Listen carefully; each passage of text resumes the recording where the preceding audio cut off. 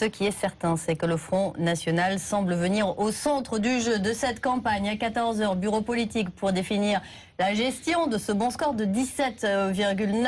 Et pour parler des législatives, Florian Philippot, vous êtes directeur de campagne de Marine Le Pen. Vous êtes avec nous. Tout d'abord, une réaction à la déclaration de Nicolas Sarkozy un 1er mai pour une euh, vraie fête du travail. Ça vous parle? Oui, il faut vraiment que Nicolas Sarkozy euh, arrête l'électoralisme. Euh, il a essayé de faire ça déjà pendant 5 ans, pendant toute sa campagne du premier tour, ressortir des mots-clés comme ça. Je vais lutter contre l'immigration, je vais protéger. Hier, l'amour de la patrie.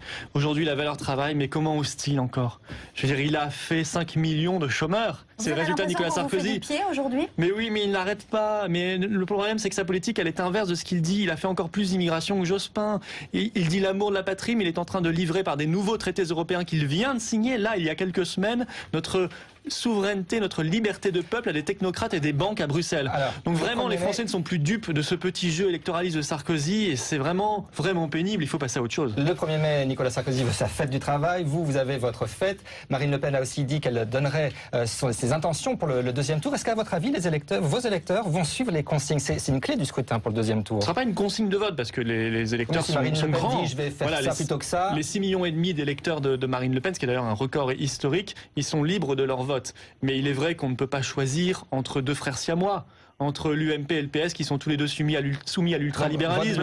Une espèce de haine de la nation, c'est toujours l'Europe. Ni, ni Hollande ni Sarko, c'est un vote blanc, c'est ça?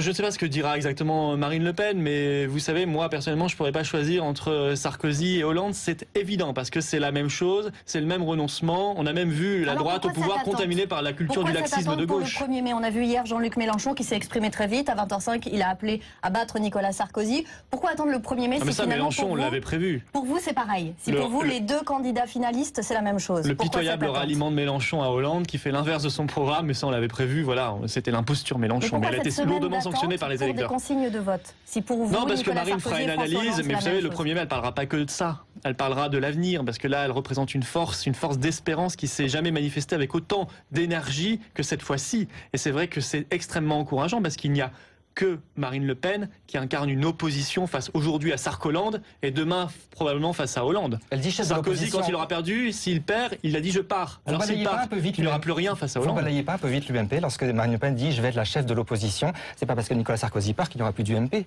Mais l'UMP s'est balayée elle-même. Je vous signale que l'UMP a fait la même politique que le Parti Socialiste. Oui, enfin, c'est la première fois qu'un président sortant qui se représente n'est pas en tête du premier tour dans la Ve République. Donc c'est un lourd échec, une lourde sanction pour Nicolas Sarkozy. qui serait un vote de crise. Ça, c'est très méprisant pour les électeurs de Marine Le Pen. Oui, les électeurs de Marine Le Pen, ils sont pas dans la grogne, la contestation, la protestation. Ça, c'est le discours de l'UMP. Je trouve ça extrêmement méprisant pour eux. Ils sont dans un discours d'adhésion. Si on veut le protectionnisme, si on n'est pas persuadé par la politique d'immigration massive de Sarkozy et de Hollande, si on considère que l'euro, c'est pas formidable, et si on considère qu'il faut réindustrialiser la France, et si on aime son pays, parce que la seule qui a parlé de la France dans cette élection, c'est Marine Le Pen, eh bien on vote Marine Le Pen. Mais ça, c'est de l'adhésion à des idées, c'est des convictions. les électeurs du Front National, ils sont pas plus bêtes que les autres. Vous, dites adhésion, mais souvent il y a un pic du Front National. Par exemple, en 2002, un pic, Jean-Marie Le Pen au deuxième tour. 2007, eh bien il s'effondre. C'est plutôt des pics, le Front National. Est-ce que c'est vraiment une adhésion à long terme?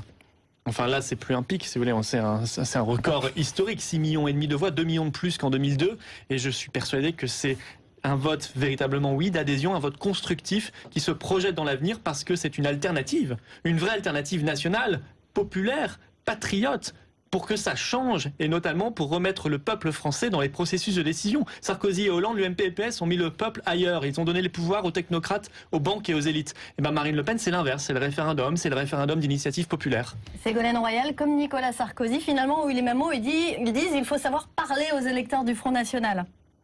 Ouais, enfin, c'est, si vous voulez, euh, il faut, faut, vraiment, faut vraiment arrêter ça. Ce sont pas des enfants. Euh, on va pas essayer de les avoir avec euh, des petits, euh, des petites formules électoralistes comme ça, des slogans publicitaires à quelques jours du vote. Ils savent la réalité de la politique de l'UMP et du PS depuis 30 ans. Vous savez, depuis 30 ans, c'est 15 ans la gauche, 15 ans la droite. Exactement. Pile.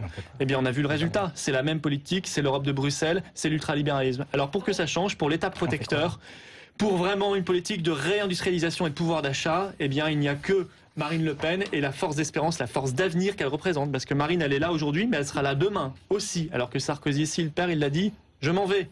Ce sera le champ de ruines. Ça, ça n'est pas responsable. Merci Florian Philippot d'être venu. Merci.